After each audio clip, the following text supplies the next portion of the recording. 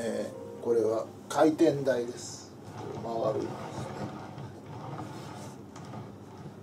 どうやって使うかっていうとこれまあ要はこういうもんなんですけど。どうやって使うかっていうとまあこうして座ると。でこうまあこっちとここっちとこうずるずる回れる。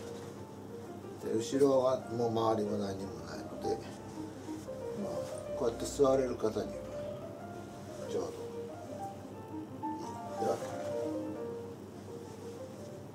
いかがでしょうか？